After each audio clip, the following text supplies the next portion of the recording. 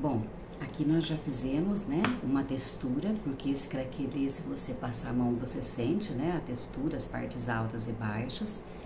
É um efeito, né? Agora vamos fazer em mais um pedacinho um outro efeito, tá bom? É, esse com bem mais textura é, do que o craquelê. O que, que nós vamos fazer? Se você de repente não tem stencil e quer fazer uma textura maior, que, que você pode fazer? Eu tenho essas pedras aqui, não, são meias pérolas, é mandada pela minha parceira, Elizabeth Sato. Qualquer pedraria você encontra com ela, viu? Ela tem coisas lindíssimas. Então, é um recurso também que você pode usar, não só meias pérolas, mas também pedrarias inclusive de colares velhos, né, que você já não usa mais, você pode desmontar e guardar, para nesses casos assim, você poder usar. Olha só o que nós vamos fazer.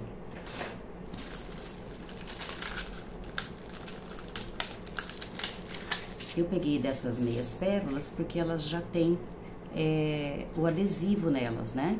Mas pode ser aquelas soltas também, que você pode colar até fazendo um, um formato, né? Em forma de coração, enfim, né? Usar aí a criatividade, ó. Vou começar aqui da pontinha.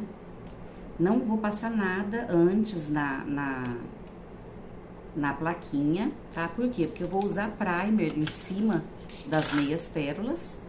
E já que eu vou usar primer, o próprio primer vai servir como é, selante, né, para minha plaquinha de MDF. Se quiser, você pode estar tá medindo a distância entre as fileiras.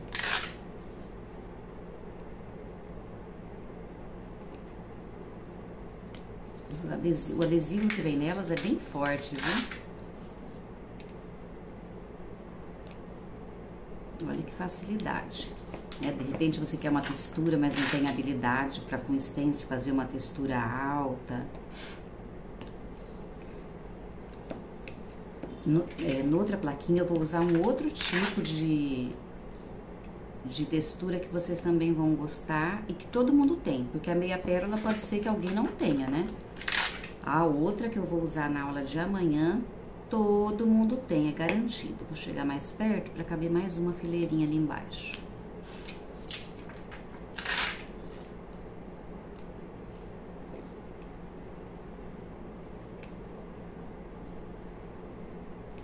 Muito grudadinha, né? Vou apertar essas daqui de cima.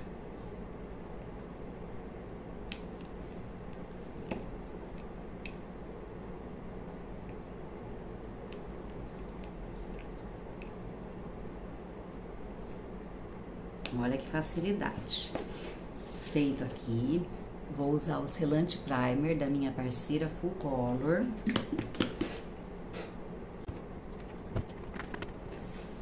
Você também pode usar tinta chalk. Se você já quiser pintar com uma determinada cor, pode passar tinta chalk, tá? Eu vou começar pelo primer e depois eu virei com a tinta chalk.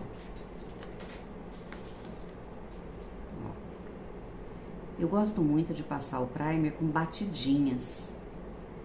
Porque aí, além de ficar meio texturizadinho, eu acho que passa, é, pega melhor do que você passar assim, sabe? Sem contar que aqui, ó, quando passa assim, ele não pega direito dos lados. Com as batidinhas, ele pega todinho por igual na pedrinha. E você pode aqui no caso aproveitar e passar no próprio MDF, tá? E aqui a gente tá usando o primer também para selar o MDF.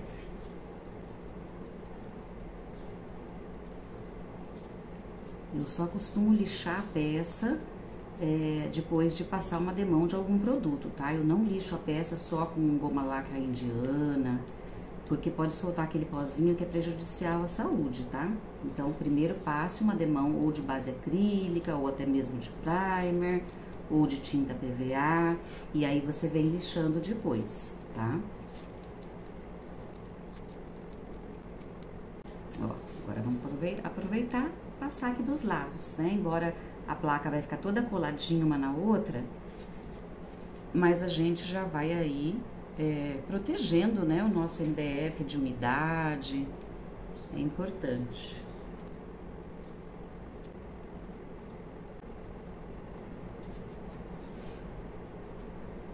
Agora, eu vou deixar secar, tá? É importante deixar que seque naturalmente o primer, para que ele possa ter uma boa adesão às pedras. Então, eu vou pausar o vídeo e depois eu retomo quando já estiver sequinho. Olha de perto como que já ficou, deixa eu chegar aqui perto, ó, tá?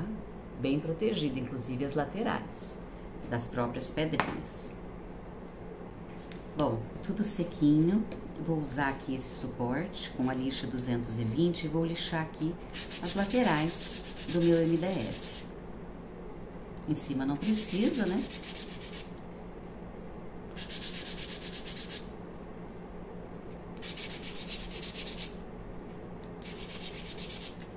Prontinho. Agora vamos passar uma tinta chal. Nós vamos usar a cor chocolate.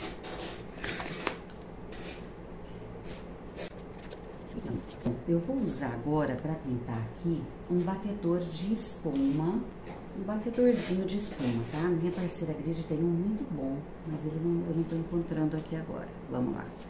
Ó. Por que, que eu tô usando marrom? Porque eu quero que a placa fique toda em tons de marrom e de azul, tá?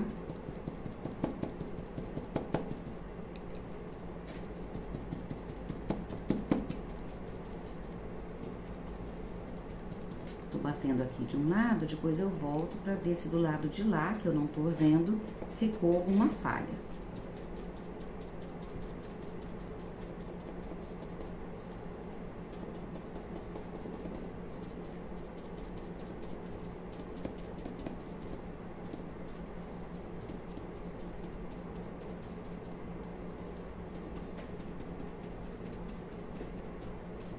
Se você for acelerar a secagem, espera esfriar a peça para vir com a outra tinta, tá? Inclusive quando você passou o primer, se quiser acelerar, espera esfriar a peça, caso você vá usar soprador. Olha só, vamos virar aqui para ver se tá bem cobertinho. Uma falhinha bem aqui, ó, totalmente coberto. Vou aproveitar e já vou pintar nas laterais aqui do meu MDF.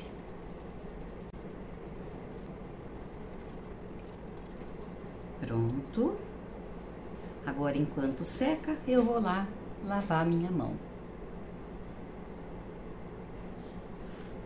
Agora, vou usar a pátina cera na cor azul mica da minha parceira Full Color. Né? Lembrando que eu quero que tudo fique marrom e azul. Pego aqui, ó, gasto o excesso, vou gastar aqui na bandejinha para não fazer sujeira na mesa eu já sujei um pouco, ó, tira um pouco do excesso. Com o pincel deitado, se você quiser usar o dedo também pode, tá? Ó, nós vamos passar para que as pedrinhas fiquem azuladas.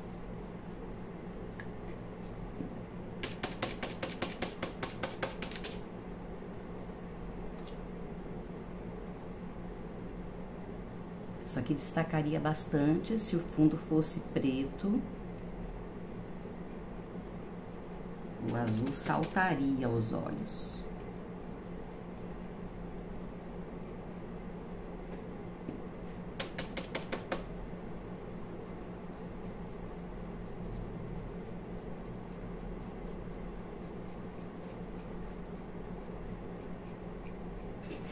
Olha só. Já temos mais um pedacinho aí da nossa placa. Este é aqui, ó. Certo? Devagarzinho vamos montando toda ela. Deixa seu like aí, caso você esteja gostando.